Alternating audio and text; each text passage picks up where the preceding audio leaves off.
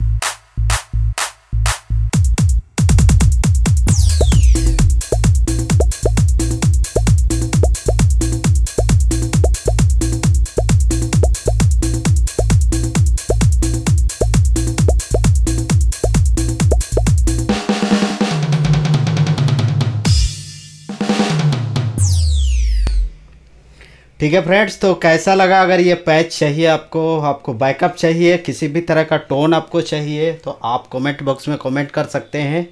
आप अगर पुराने ट्वेंटी का भी टोन चाहिए या डीजे टोन चाहिए, किसी भी तरह का लुप्स चाहिए टोन चाहिए तो भी आप कांटेक्ट कर सकते हैं हमसे। मैं आपको बना के, आपको व्हाट्सएप कर दूँगा। आप कमेंट बॉक्स में अपना नंबर डायरेक्ट अपना जो आपको रिक्वायरमेंट है वो लिखिएगा और कमेंट में अपना नंबर दे दीजिएगा। और मैं इधर से कॉल बैक करूँगा आपको और अपना जो कुछ भी है आप मेरे से ख़रीद सकते हैं। खास करके डीजे पूरे डीजे टोन आपको लुप्स सारे चीज़ मिल जाएँगे।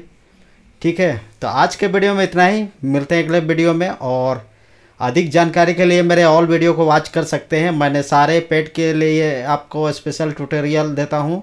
जिसमें बेसिक नॉलेज आपको बहुत ज़रूरी होना है, बहुत ज़रूरी आपको होना चाहिए। तो सारे नॉलेज मैं आपको देता हूँ अपने यूट्यूब चैनल के माध्यम से।